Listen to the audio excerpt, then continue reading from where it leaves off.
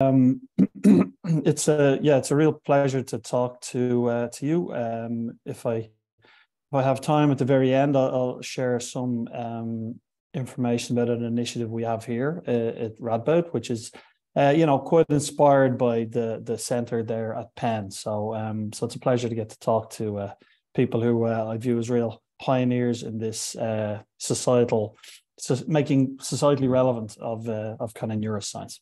So what I want to talk about is, um, as Martha said, my own my focus is on decision making, and so uh, rather than look at kind of specific policy implications, what I want to do is give a, a kind of a brief tour of the field of decision neuroscience and uh, some work from my lab, which is really looking at the fundamental aspects of decision making, but with a view to how we can apply these insights to understanding um, policy and potentially influencing policy.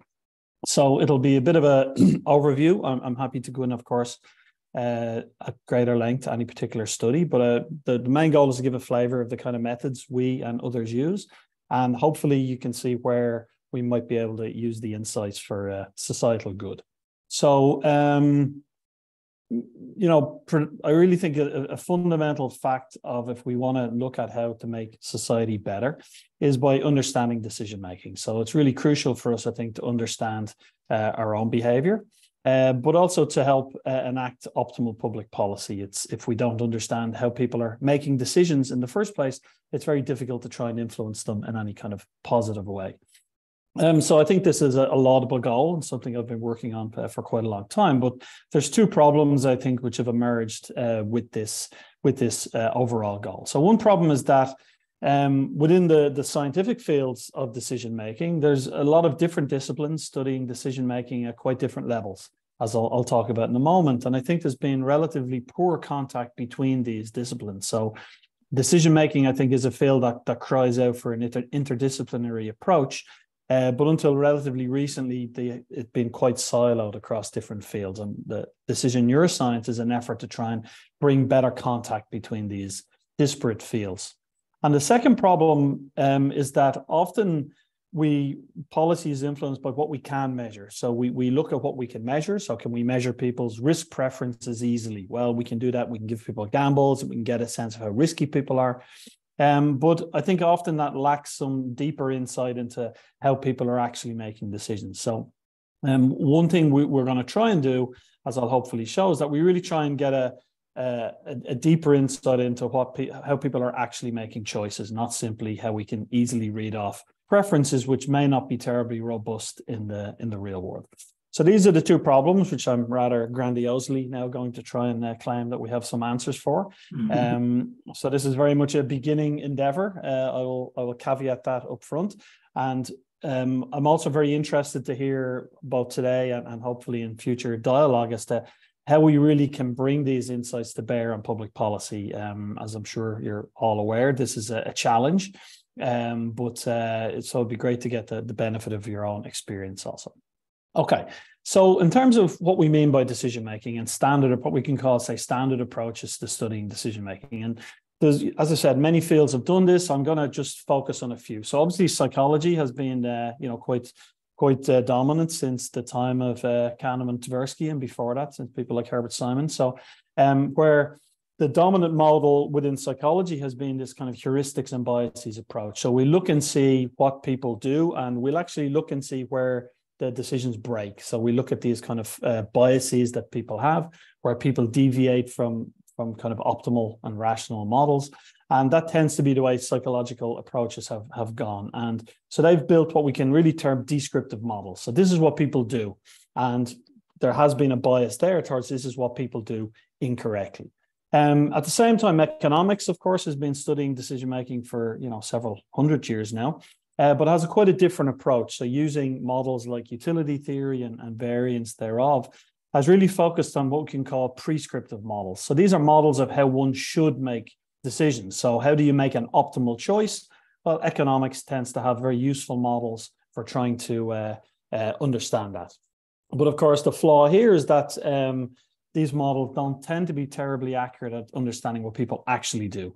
Um, and given that we live in a noisy and uncertain world, uh, it's it's you know I think this is a, a, limitation of the economic models. And similarly, neuroscience has been chugging along, doing looking at decision making also for, for quite a long time.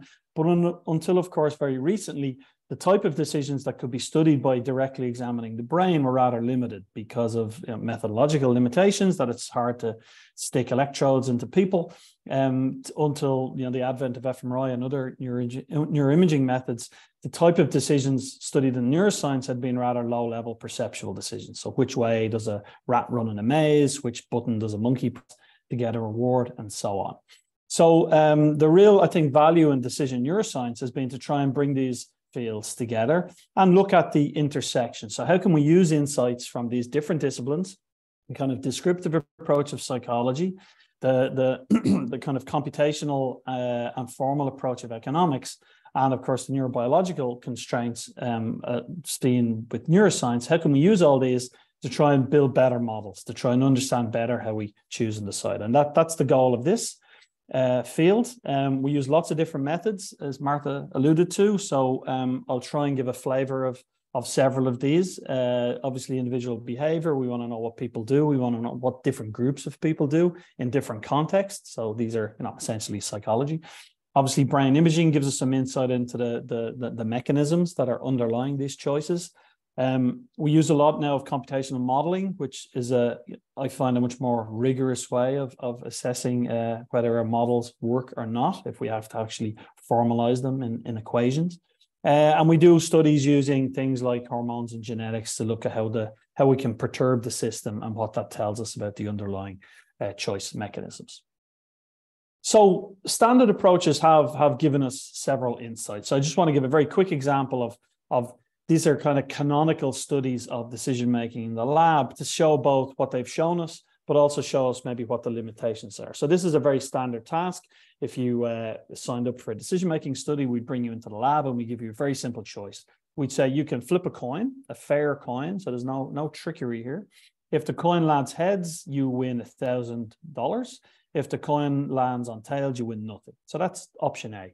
Or you can have option B, which is that I will give you $500 for sure, and you can go about your business and not, no need for any coin flipping. And the choice we simply ask participants is, which would you choose? Um, I, it's a bit tricky to do this in Zoom. We've done this many, many, many, many, many times. It's uh, it's the one demonstration I do because it always works, and the result is that overwhelmingly, usually about eighty percent of people uh, choose the five hundred dollars for sure. So if you're playing along, um, probably most of you chose that. now, there's nothing, of course, right or wrong about this. This is a choice preference. Um, but one kind of notable thing is from a strictly uh, economic perspective, if we're going for very kind of traditional economic models, that these two options have what have the same what's called expected value. That is, on average, the coin flipping you'll win 500 euro. Sorry, I have to change my currency for these uh, US stocks. 500 dollars. Um, so half the time you'll win a thousand, half the time you'll win nothing. So on average, you'll win five hundred dollars. And on the uh, sure thing option, you also win five hundred dollars. So people should, according to the the models, be indifferent, but they aren't. They have a very clear preference. And so this has been taken to illustrate what people call risk aversion. People don't like uncertainty, they don't like risk, and they'd rather take the $500 for sure than take the chance winning a thousand. As I said, this is extremely robust. And if we wanted to lure you into uh, become gamblers, I'd have to offer about a two thousand dollars for that heads. That's a, that's the point which most people will say, well, it's probably worth the risk. Okay, so so we can use gambles like this to establish concepts like risk aversion. And then I can bring you back into the lab and give you, give another uh, problem here. So um, this looks very similar on its on its face. So again, you can either flip a coin, but this time you can imagine I have some experimental method which enables me to extract money from you. So uh, this time, if it's heads, you lose a thousand dollars. Right, you have to pay up uh, to me a thousand dollars. Whereas if it's tails, you lose nothing. So you walk out uh, um, uh, free um, or you can just give me $500 right now and uh, we will kind of call it quits. So now, of course, this is the essentially the same uh, gamble, uh, except I've just changed the signs. Now we're in the, the loss domain instead of the gain domain. And what we find now is that the vast majority of people now choose the gamble. So what we've shown here is two things. One is this is what's called a preference reversal. So people have now choosing the risk, whereas in the previous example they didn't. Um, and th so this illustrates that people clearly are not only concerned with avoiding risk because here people are choosing the risk. And this illustrates the principle of what we call loss aversion. That is, it's extremely painful just to hand over $500 to me for nothing. Um, that hurts. So you'd rather take the chance that maybe you can get out of here uh, with nothing. And of course, this has been uh, proposed to underlie many, many kind of problematic gambling behaviors, right? There you're chasing, uh, chasing losses and so on. So, so I, I show this to illustrate that these, this, these kind of simple examples have, have shown us a lot, have shown us a lot about what people do in different circumstances. But what we'd like to do, I think, with this research program is kind of move beyond these uh, simple gambles and move beyond these kind of lab lab uh, lab tests, which are a little bit divorced, I think, from the real world. So, so how do we do that? So, uh, we do it in a variety of ways. So, a lot of our work in our lab is is try to be inspired by real world decisions and choices. So, we don't take kind of abstract gambles and so on. So, uh, this is just some examples, and, and what I want to do over the course of the next uh, 45 minutes or so is give you a little insight into how we study these, how we can try and study these um, uh, you know, properly in the lab, but also that they have potential real world uh, implications. So um, the first thing I want to talk about is, is the, the topic of kind of poverty in decision making. So obviously there has been a lot of research over a long time uh, suggesting that when people are poor, they make qualitatively different decisions. Uh, often these decisions are, are suboptimal, certainly from a usually a financial sense. And up until you know relatively recently the perceived wisdom has been that you know poor people make bad decisions that's why they're poor um, but due to some i think quite interesting work um, from well from the east coast over there um, suggests that maybe the, the the the the the feeling or the state of poverty itself may in fact lead to different types of decisions so this is kind of the notion of scarcity that is um, when you're when you're poor when resources are scarce this may just change your, your preferences in, in kind of locally optimal ways, but that have are generally poorer for you in the long run, but are explainable. So it's not that you're just making kind of bad slash stupid decisions, but that uh, the decision criteria shift. So we wanted to study this in the in the context of simple consumer choice. So does the feeling of not having enough lead to changes in how we decide uh, when people are simply asked to purchase very simple consumer products, the type of things you'd see in the in the supermarket? Uh, but of course, we wanted to do this in the lab uh, to see, and we wanted to do this uh, using fMRI to see what kind of brain mechanisms might underlie uh, altered decision making due to scarcity. So, um, as with all of the uh, examples I'm going to give, I'll, I'll, skim rather briefly through the details. I'm happy to go through them later. But what you need to know about this task is that um, we, we set this up as a, a three stage game, and the participants were told they had to kind of progress from stage one to stage two, stage two to stage three. And if they progressed through stage three, they got to win some, uh, some money. And this is a very simple perceptual detection task. They just saw patterns of dots on the screen and had to choose which uh, pattern had the most dots. So it was a, it was a, a kind of a cognitive uh, task. Uh, but the, the, the, the, the trick for this game was that we made it quite difficult for people to progress through different stages. And what we told participants was in order to move from stage one to stage two, you had to have a kind of a positive balance. So every time they got a question right, they got a token. Every time they got a question wrong, we took a token away. And in order to progress from stage one to stage two, they needed to have a positive uh, greater than zero balance. And then we could simply have two conditions uh, for our participants. Uh, one condition is what we call the abundance condition. And here we simply, at the beginning of the game, we just gave them a lot of tokens up front. And so they knew that based on their performance, there was never really any real danger of them not being able to progress. So that's what we call this the abundance condition, that there was a kind of an absence of scarcity here. And we wanted to contrast this to participants who were placed in the so-called scarcity condition. So here, at the begin, very beginning of the game, we gave them simply one token, and we manipulated their performance in the task such that they were always right around the thresholds. We wanted to kind of mimic this feeling of I have barely enough resources and I, I, I've a very, I'm not really able to predict what my future resources are going to be. And then we simply, uh, so this was the manipulation to try and induce this feeling of scarcity versus abundance.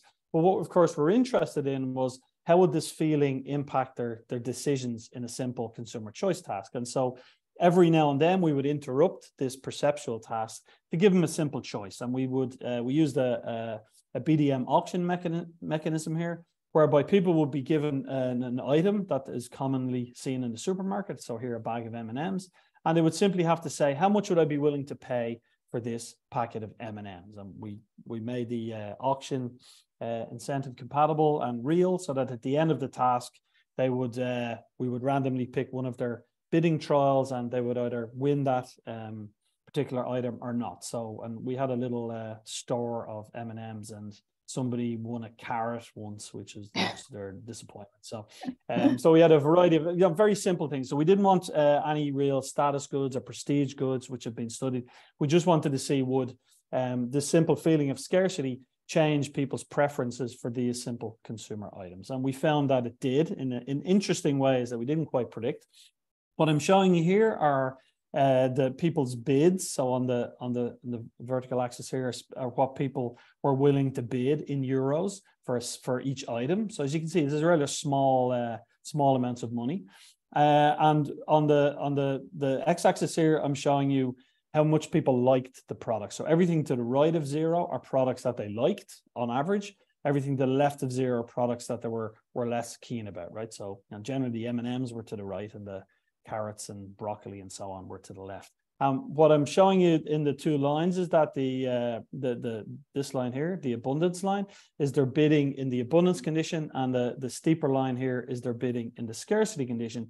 And what we see here, what we see fairly consistently across several studies, is that we get this kind of sharper preference uh, in scarcity. So when they like something, they're more willing to overbid for it in the um, scarcity condition. When they don't like something, they're much less likely to uh, to bid. So what we seem to find is that people's preferences get a bit more sharp, and that they're willing to kind of put their money where their mouth is uh, in scarcity. So it's some evidence for the suggestion, at least that even in this very simple lab manipulation, scarcity may change the way we we kind of value goods. And we find that uh, supported by our uh, fMRI results, which show that when people are in the scarcity condition here on the left, we see increased activation in ventromedial prefrontal cortex, which is often involved in kind of valuation of, of, of, of, of um, outcomes. Um, but in the, uh, in the converse uh, case, when we're looking at abundance compared to scarcity, we get greater activation in these control regions like DLPFC. Um, so this again suggests that even in a, a, very simple lab experiment done on you know undergraduates, you can I think successfully induce these feelings of of scarcity, and we do see um, differences in people's decision making as a consequence, and we have some insight into the, the mechanisms. So that's what we might call um, an individual decision. So th- these are decisions where you know you're making a choice based on your own preferences. Um, we also do a lot of work on what are we term social decisions. So a social decision is a decision where um, you're in an interactive decision context with another person. So you don't need just want. So it's not important just to know what you feel about M and M's or carrots. It's also important to know what somebody else might feel about that. And so a good example of this might be a simple business negotiation. So if you're in a business negotiation, it's useful for you to have some insight on what the other person uh, really wants, doesn't care about, and so on. And so that's what we're studying here these situations where my decisions are somehow contingent on what you choose, and your decisions are somehow contingent on what I choose. And um, I find these decisions really, really interesting because they evoke a whole set of other preferences and uh, and and mechanisms that we don't see in these individual decisions. Uh, and I just want to give a, a, little example to show that these social motivations uh, do turn out to be important. So this is I like to show this picture. So if you haven't been to the Netherlands, this is kind of how the Netherlands look. Right? It's this perfectly flat landscape. Uh, they're a modest people, so they have modestly sized ice cream cones, and um, you know, and and you might wonder, and you know, it's modestly sunny that day. Um, so, um, but most of you, of course, can look at this uh, this person's face, and you might wonder why isn't she happy? Right, this is as good as life gets here in the, in the Netherlands. There's ice cream and and some level of sunshine. Um, and but when I show you the rest of the picture, okay, it's uh, usually immediately obvious to people. Why she looks so uh, unhappy. And so this is a classic case of what we might call social comparison, um, whereby what I have is often valued in relation to what what you have. And of course, if we were to put these people in the in the scanner, we would see that she would have less reward activity for her ice cream cone when this guy shows up with his uh, traffic cone of sugar and fats here. So, so social motivations turn out to be very, very important, and um, we, we, keep finding that they're more powerful, I think, than than we we believe in terms of uh, the the effect they have on people's decision making, and they conjure up a lot of interesting questions around um, concepts like fairness, cooperation, trust, revenge, spite. So these are all social motivations. They exist only in this interactive situation, but they have surprisingly powerful impact on our decisions. And I think it's very important to understand these if we want to understand how we impact uh, decisions at the policy level, because things like social norms, things like social comparison can be very, very powerful drivers of behavior. If, if everyone in my neighborhood is putting up solar panels, we know that's really going to enhance the likelihood that I'm going to do so as well. So understanding these social motivations has some, I think, uh, uh, important utility. Um, to give an example of a particular social motivation, right, that of uh, fairness, I, am showing this picture here. This is this is difficult for me as an Irish uh, soccer fan to show this picture because this is a a, a, a sad moment for for Ireland. Um, several years ago, Ireland in the white played France in the blue in a in a game which was a qualifying game for the for the World Cup finals. Um, towards the end of the game, the game was tied, and towards the end of the game, this illegal act of French treachery happened here. Right? You can't do this in soccer. You can't handle the ball. He did it anyway. This was before, uh, you know, videos. It's, I can see I'm getting all worked up remembering this uh, sad moment. Um, what happened was th- this happened. France scored a goal. Everybody uh, saw this except for uh, the referee, and so the goal was was awarded, even though it shouldn't have been. Now, what's interesting isn't that a sportsman cheats to win a game. That happens all the time. But the reaction of the Irish people was really quite uh, interesting afterwards. So, the, the day after this happened, there was a march on the French embassy in Dublin, and there was official protests in the European Parliament. It's all completely insane. But um, and my favorite story, there was a little town in the middle of Ireland, and they took all the French bread out of the grocery store and they burnt it all in the village square. So now, of course, this may give the impression uh, Irish people are um, uh, somewhat unhinged, but I, I, I think uh, what it really illustrates is that um, the the extreme uh, power of this feeling of being treated unfairly.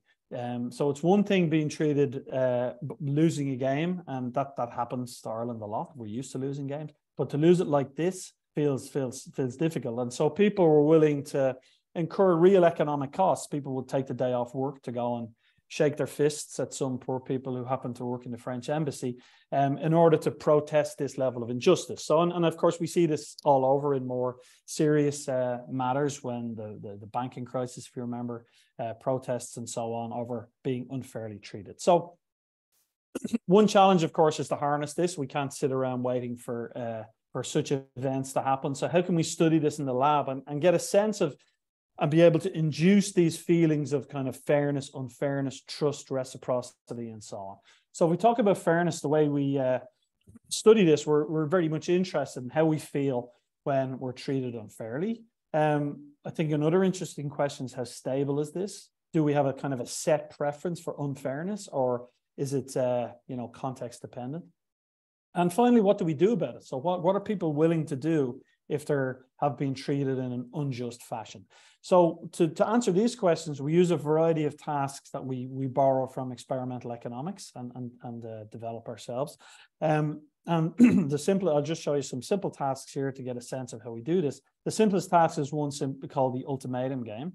So the ultimatum game is a very simple task. You come into the lab and you're paired with Paul, and Paul is a real person. You don't know him, but uh, he exists. And uh, I, as the experimenter, tell you and Paul that uh, you're going to play a game which involves dividing a sum of money.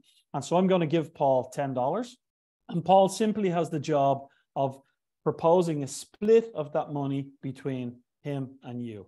And he can propose anything he wants. He can say, I'm going to keep it all. I'm going to give it all to you. We do 50 50. So anything is uh, is possible. Okay.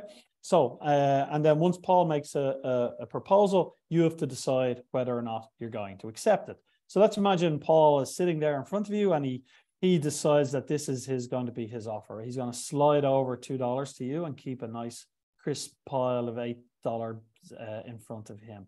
And now simply the the decision that we're interested in is uh, what do you want to do, right? And you can do two things. You can accept this offer, in which case Paul gets eight dollars, you get two dollars, the game is over. right? So you both walk away. Or you can say no. You can say, I reject this offer, in which case I take back the money. Paul gets nothing, you get nothing, and the game is over. And so what we ask people simply is, do you accept or reject Paul's offer? And um, maybe you can all think a bit about what you would do in this situation. Of course, all standard economic models predict that um, it makes absolutely no sense to reject um, because $2 is better than $0. So you should always accept. And in fact, you should always accept any offer Paul makes. If he offers you one penny, you should take it because it's better than nothing. But as uh, hopefully you're at least intuiting either from yourself or from you know what you think other people will do. Uh, substantial amount of the time, this offer is turned down. So people are willing to take nothing rather than be part of this uh, unfair division. So we, we've we've done this task many many uh, tens of thousands of times. I can't tell you how many. It's it's a very very robust finding, and these are kind of typical results. So if Paul offers you five from a ten dollar pot, um, everybody accepts, right? The, everybody likes uh, fairness. There's no problem with that. Uh, when Paul offers you three, most people accept. They're not terribly happy about it, but they're willing to say, well, Paul has some advantage here, so he's going to uh, take advantage a little bit. But once the offers get down to two and one, as you can see, the acceptance rate drops quite precipitously. And in fact, around this one, two, so 10 or 20%, um, about half the time people say no. So these are people who are knowingly turning down free money um, because of you know this feeling of, of unfairness that, that Paul is treating them badly and um, Paul should be punished, uh, or they just don't have any part of this uh, inequitable situation. So uh, we can also, of course, look at what happens in, in, in, the brain. And what we find is, again, very consistently, we find this area called the anterior insula, uh, which is responsive to unfair offers. There's some nuances, but essentially, the more unfair the offer, the more activation we have in the insula. And the insula is an interesting area for this because it had long been thought to be a very kind of fundamental somatosensory kind of cortex that uh, we know that when people are, say, hungry, thirsty, in pain, we see the insula. Uh, but of course, in, in, in these situations, there's no physical distress or discomfort, right? There's maybe moral pain one's in.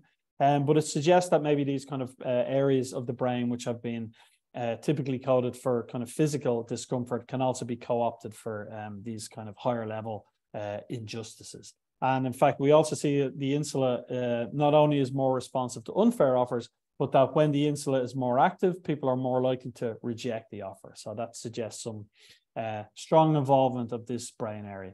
Another area which I don't have uh, labeled here, apologies, is this uh, dorsolateral prefrontal cortex, which uh, will be important in a moment. So, you know, as a as a as a, a rough sketch, then we can see that you know people do care about unfairness. They care enough to turn down money to uh, protest. Um, there does seem to be a kind of a neurobiological system that that's heavily involved in this. And the other question, I, I if you remember, I was we were curious about how stable is this. So, you know, if Paul offers you two, do you feel just as aggrieved as when Jim or Jane offer you two, or when you, you know, get two two two dollars at 10 o'clock in the morning or 10 o'clock at night? So, how stable are these feelings of uh, unfairness? So, we've done lots and lots of studies looking at um, unfairness across different contexts. Uh, I'll just go give you a few here just to demonstrate uh, the point. So, uh, so these are this is the acceptance rate for unfair offers. So these one and two dollar offers I talked about. So as you can see, the kind of standard level of uh, acceptance is around 50%. So half the time people say yes to these low offers, half the time they say no. So um, so we got we're all, we're quite interested in kind of the emotion associated with this. And so one set of studies we we simply primed the motion. We had people in good mood and in a bad mood receiving unfair offers. And we were curious to see would we move away from this 50% kind of baseline? So uh, when people were placed in a positive emotion, and we have different kinds of positive emotions, but in general, there's no effect. So, you know, a happy person is just as likely to say uh, no to this unfair offer as in our standard case. Uh, but the other uh, side is negative emotion. And we had a hypothesis here based on the fact that we know that uh, negative emotion tends to involve insula uh, activation. Our hypothesis was that when people were placed in a bad mood, and um, when they were make them sad or angry, we would see a decline in acceptances, and that's exactly what we see. So, um, so the word of practical warning: don't try and take advantage of someone in a bad mood because they're likely to uh, object even stronger. So we see this d- diminution. So Uh, we can also look at the, the kind of flip side, which is less about the affective and more about the deliberative. So if we simply prime people with cognitive tasks, um, we get a, a rather large increase in acceptance rates. If we give people cognitive load and we overwhelm them as they're getting these unfair offers, that we can push the rate back down again. So the main take home from this is that these people's preferences are not terribly stable. So they're subject to a lot of uh, influences here, which are these are kind of not relevant to the task as such, right? These kind of independent emotion and cognition relevance. Um, and the, the other type of uh, manipulations we do are simply to uh, play with people's expectations. So um, in these studies, what we do is we tell people that Paul is a really nice guy. Paul offers pretty much everybody $5, and then Paul offers you $2. And I think you can hopefully imagine how that feels. That feels really bad. So if you've got high expectations about the world and about Paul specifically, and Paul comes in with a very low offer, um, you'll almost always reject it. So not only are people kind of have these um, outside influences, but their their game related influences can have a really large impact on their decisions. So um, what the take home from this is that you know these these perceptions of unfairness are, are very powerful in terms of their choice motivation. Uh, we can uh, tie these to rather specific brain structures, so structures involved in negative affective states, and also structures involved in expectations and social norms. And, and fairness is is uh, can vary significantly within a person. So depending on the context, people can be more or less sensitive to uh, fairness. Um, now, of course, people are saying no in this game for a variety of reasons. So one is uh, one reason people give is I say no to Paul's offer because I don't want to be part of anything Paul's part of, right? I don't want to be involved in this, or if it's not equal, I'm not interested. Uh, but another reason people say no is to punish Paul, because of course you're you're costing yourself um, two dollars, but even better, you're costing Paul eight dollars, right? So it's a way of kind of indirectly punishing Paul. Um, so we were interested in this particular motivation and we, we wanted to study this in a bit more detail. So we developed a separate task to really study punishment. So when are we willing to punish other people because they treat us unfairly? And a particular kind of punishment we're interested in is so-called costly punishment, right? It's easy to punish people for free, but what if it actually costs you to punish? And we think this is more analogous to the real world where you know you can't just run around punishing people. There's often consequences to that. So uh, we wanted to make this consequential. That is you had to basically pay in order to punish um, an, another person. So uh, we have a slightly different game here. I won't get into the details. That the, the basic point is that um, you're in the role of the partner in this game. You're paired with a so-called taker and the basic point is that at some point, the taker takes your chips. And they're clearly not supposed to do this. They're clearly the norm is that they don't take. So, but they do take sometimes. Um, so people reliably feel that this is a, a kind of an aggressive uh, act and it's uh, unfair and unjust. And the question is, we're interested, what do people do? And we're interested this across three different scenarios. One is that you're the victim. So the taker takes from you and you can then go and punish the taker afterwards. So you can enact some kind of punishment on uh, on him. Uh, a second scenario is that you're is what we call a third party game. So you watch somebody else being treated unjustly, and then you can punish the perpetrator. And then a third condition is uh, you you witnessed an injustice, but now instead of punishing the perpetrator, now you can compensate the victim. So here we're interested in what are people's preferences? Do they rather punish or do they rather compensate? And so um, to, to get straight to the data, what we the first thing we find is that people are willing to pay to punish or compensate across all uh, conditions. So uh, that at least suggests that you know people are, are willing to here put their money where their mouth is and they're willing to, to incur a cost when something bad happens. If we compare the different types of punishment, somewhat unsurprisingly, um, people are more willing to punish when they've been the victim than when they witness somebody else being the victim. And when we compare punishment and compensation, we find people prefer to punish. So I'd rather punish somebody who did something bad than compensate someone who was the victim of this injustice. And we can also look, of course, at the at the brain and see how this uh, these mechanisms might be instantiated. Uh, first, I'll show you that in when bad things happen, we also get the insula, as we did in the previous uh, study, showing that there's some consistency in this neural response to unfairness across uh, across tasks and across participants. Uh, interestingly, when we compare punishment and compensation, uh, it seems to be driven by striatal activation. So, as you know, this is heavily involved with the brain's reward system, at least suggesting that there may be some reward uh, reward related activity may be greater when you're punishing someone who's done something bad than compensating uh, a victim. Uh, let me skip that. And what I want to illustrate here is that we can also use these uh, approaches from economics to, to, to model how um, people behave in these tasks. So here we have a, a, a utility model. I, um, I will not go through the details. It's far too late here for me to be going through um, details of utility models. But uh, what I want to point out is that these, these models are, I think, are very, very useful in formalizing the decision process. And so what we've done here is we've said that the decision process is likely under underpinned by two, two types of decision. One is do I want to punish this person? This person has behaved badly towards me. Do I want to punish them?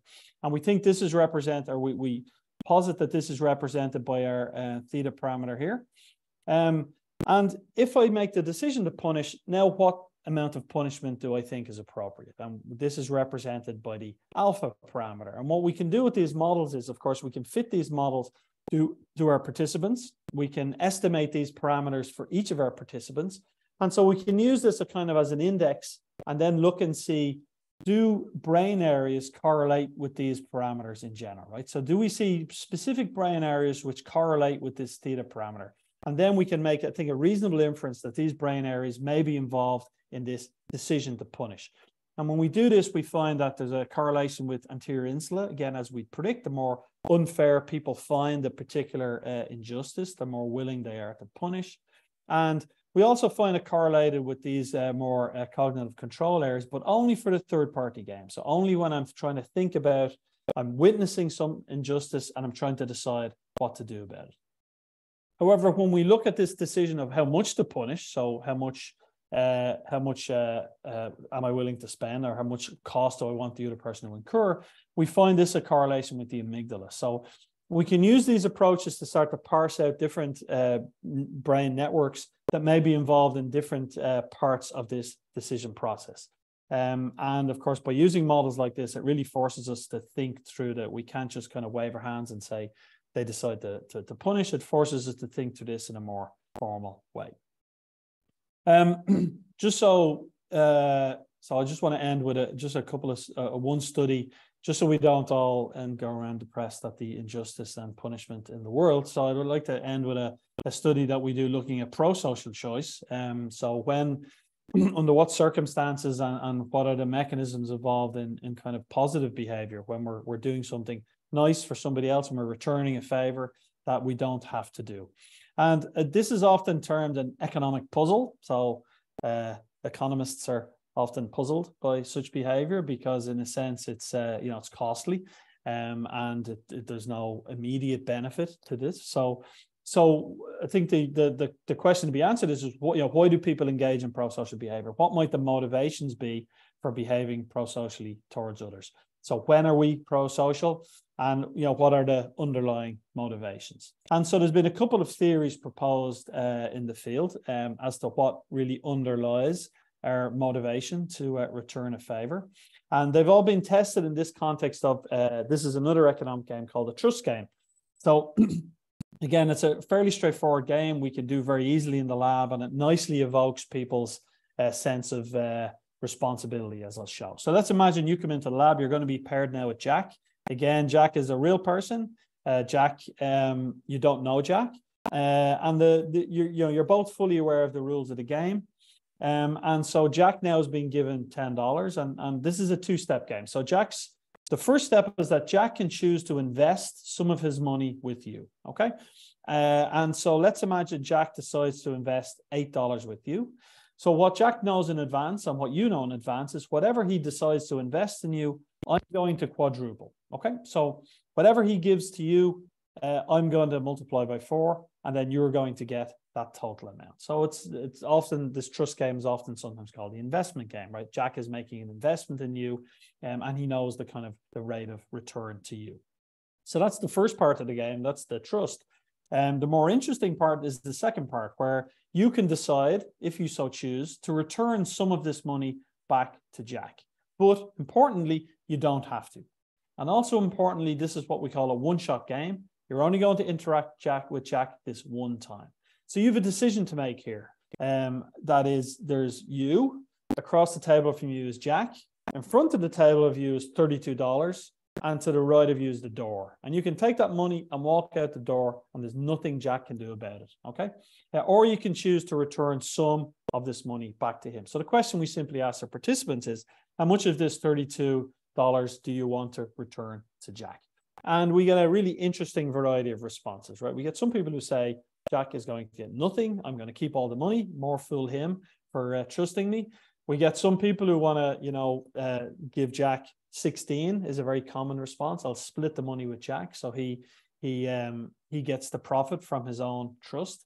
Um, and you know, we get a variety of responses in between. So, but the, the vast majority of participants do return money back to Jack. So one question is, why do they do this? So why are they engaged in this pro-social behavior with a person they've never met and are likely never going to meet again? So what are the motivations underlying this behavior? So a couple of theories have been proposed, as I mentioned. One is that the, the notion of equity, that people don't like inequitable outcomes. That is, in this particular situation, I have 32, Jack has two, and kind of morally, that's not right. We should have the same or close to the same as possible. So, in the, with this motivation, that's this would be why people would transfer, say, half of their money back to Jack. Um, so, this notion of the kind of moral principle of, of equity or, or equality. Uh, another motivation, though, that we found is that uh, this notion of expectation, right? So that is the reason I'm giving money back to Jack here is because, well, I know Jack kind of expects it, right? Jack didn't give me this money to enrich me purely. He gave me this money because he knew it would be multiplied and he probably expects me to send something back. Okay, so this is kind of underlying that this motivation is kind of underlies this notion of kind of guilt that I'm going to give money back to Jack because I'd feel really bad if I didn't, because I know he expects it.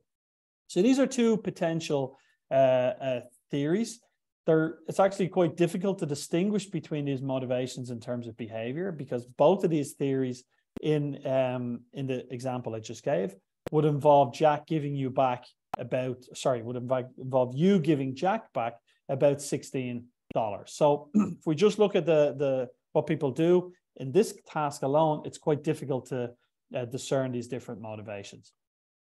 And the second reason we wanted to do this study is because um, it may be that different people have different motivations. So we're all comfortable with the notion that different people have different moral principles.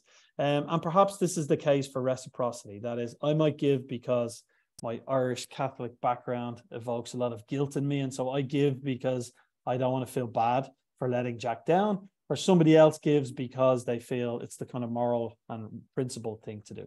So a secondary goal of this study is to look at individual differences in these type of uh, in these type of behavior.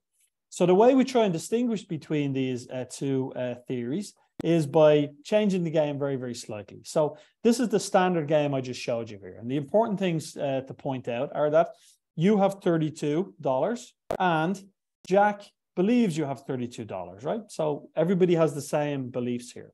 Um, but in this version of the task, though, we did something uh, kind of sneaky. That is, on certain trials, Jack would transfer money to you. Um, sorry, Jack would transfer money to you. But instead of multiplying it by four, we actually multiply it by six. But importantly, we don't tell Jack this. Okay, so Jack believes you have 32, but you actually have 48. So now we can look at, see what the two different theories would predict, uh, uh, what behavior they would predict. So the, what they would predict is that these are the two relevant numbers. I actually have $48. Jack thinks I have $32. Now, if you're a so-called expectation follower, that is, you want to, you know, match Jack's, but you don't want to let Jack down. The, the logic goes that Jack believes you have 32. So if I give Jack back 16, half of that, he'll be perfectly happy and I'll get to kind of keep the change and no one will ever know any different. However, if you're a so-called equity follower, that is you think the principle at stake here is that I should share my money with Jack. It doesn't really matter what Jack thinks. It's I know I have 48, so I should give him then 24. So we can then of course look at people's behavior and posit that if people are giving around 16, they're probably motivated by expectations. And if they're giving around 24, they're probably motivated by equity. And just to make life uh, a little not so easy for our expectation followers here who get to make more money, on certain trials, we also do the following where we multiply the amount by two. So now, if you're an expectation follower, you have to give all of your $16 to Jack because that's what Jack expects. And that really hurts for people to do. Whereas now, if you're an equity follower, you say, well, I have 16, I'll give half to Jack. And that, that's the best I can do. So we make it uh, kind of comparable over the long run what people do. So what do people actually do? Let me skip this. So one way we can infer what people do uh, is again we create this this uh, utility model to try and quantify people's motivations. And there's two parameters which are important here. Um, there's this uh, theta parameter again, and we have this phi parameter. So the the theta parameter is, I'm sorry, the phi parameter is um, says what we show people uh, hang on, let me, it's easier to explain here. Is this? Oh, no, no, I'll go back. Sorry. The, sorry, the theta parameter here gives people's uh, financial gain relative to their social gain, right? So that basically captures whether people are greedy or not. If people are not greedy, the other parameter shows how well they fit an expectation model versus an equity model. So we can we can use this parameter to assess whether we think people are giving because, excuse me, they want to match Peter's expectations or because they want to do this kind of moral principle of uh, fairness. So the way we can assess this is we can create this so-called moral strategy space. Um, and so we can look at people who are greedy. This is the kind of behavioral pattern. So greedy people just keep the money. Always about 5% of people just keep all the money. So beware those 5% of people out there. Um, there's a, another group of people are these what so-called equity followers. There's a, these are people who always give half of whatever they have in a given situation. There's the group of people which are we call expectation followers. So these are people who always give Jack the same because Jack always believes they have the same. So they they they, they keep it at that 16. And then we have this interesting group of people who are we term moral opportunists. So these are people who are um, take a different strategy depending on whether that's what's the best strategy for them at that moment. So these aren't greedy people. They are being moral. They are giving money back to Jack, but they tend to pick the cheapest strategy. So if I go back to our uh, situations here, in this situation, a moral opportunist would say, well, I think the right thing to do here is give Jack back uh, half of what he thinks I have. So I'll give him back 16. Okay. And then we give him this trial, and the moral opportunist says, well, I think the right thing to do is to give half of this 16 and not half of this 32. So they'll change their principles be, uh, to, to, to suit what's, what's, what's best for them. Uh, and what we can do, of course, we can use these parameter values and then we can estimate uh, a parameter space here. What I'm showing you here is uh, every, every symbol here represents a different subject, uh, participant in our experiment. And we can see how people then kind of cluster across these different strategies. So you can see there's a reasonable um, dispersion of people across these four strategies. So we can use these approaches to look and see uh, what specific individual differences there might be in this kind of reciprocity behavior. And then we can follow this up by looking at the brain and saying, do different types of moral strategies seem to uh, recruit different uh, brain networks? And the, the simple answer is yes, they do. So um, strategies which are so-called equity following, that is these kind of moral principle of, of, of equal division, uh, tend to engage this unique brain pattern across medial prefrontal, dorsal, anterior cingulate cortex. Whereas people who follow this kind of expectation-based strategy, not letting Jack down, have this pattern in different brain regions. So anterior insula, putamen, and uh, dorsomedial and dorsal lateral prefrontal cortex. And their moral opportunists tend then to switch between brain representations and brain strategies. Um, and this is just a, the, the final slide, and this is just to show these are three separate replications of this study uh, and showing you the distribution of participants across these different moral strategies. And so one interesting thing we find is that we can do different versions of the task. We can have quite different uh, uh, participant groups, and they all cluster quite similarly. So this suggests there may be some, or at least one kind of provocative hypothesis we want to start testing is, you know, is this somehow an optimal distribution of, of uh, moral strategies across a population that if we were all the same, it wouldn't uh, lead to as good outcomes if there was this uh, mix of strategies. Um, in evidence. Okay, so oops. So to to sum up this this last part, um, the the the kind of take home of this pro social that um, we can quantify these uh, these decisions both computationally and, neurally. Uh, we do see different motivations evident across different people. So maybe there is a kind of a distinct moral phenotype. And I think uh, this was summed up best by a, a, countryman of mine a long time ago, George Bernard Shaw, who said, you know, we all know what the golden rule is. Shaw said, you should not do unto others as you would want them to do unto you, as their tastes may not be the same, right? So this captures this notion of um, if we assume everybody adheres to the same moral principle, it may be quite difficult then to, to if we extend this kind of policy uh, related uh, decision making, it, it's useful to know what's driving people's behavior. And we shouldn't assume that everyone is driven by the same type of uh, moral principle. So, um, so to summarize, uh, you know, this and, and what I've tried to show you is that the importance of certainly in the latter part of the importance of non-economic motivations in understanding decision making. Often policy uh, has a tool which is uh, incentives, uh, often kind of financial or economic incentives. And while they can be useful and they can certainly work, um, we make a lot of our decisions based on non-economic motivations. So things like uh, fairness, justice, trust, reciprocity, revenge, spite, so on. So understanding those, I think, is really important if we want to try and think about how we might usefully um, um, uh, impact uh, policy and, and kind of public decision making as a consequence. Um, what I've also tried to show is that well, we try and use a lot of different approaches, uh, hopefully not in a haphazard way, but a lot of different approaches to try and kind of triangulate the mechanisms. And um, there's a lot of different techniques out there now, which uh, are, have have obviously pros and cons. But using a variety, we fi- we find uh, really helps us try and clarify these uh, these uh, decision factors. And I hope, uh, you know, I think this is where the jumping off point for us is how we can use these findings and insights in informing societal questions. And of course, that's that's the tricky part. Um, uh, so we're we're engaged in quite a few field studies now, where we're we're not just doing our lab studies, but we're looking at these kind of um, factors in in more kind of realistic scenarios, and and we hope that'll help us uh, get to uh, a point where we can start making useful inroads into uh, public policy. But with that, for now, I will um, I will say thank you to you all for for listening, and um, I'm happy to uh, answer any questions people might have.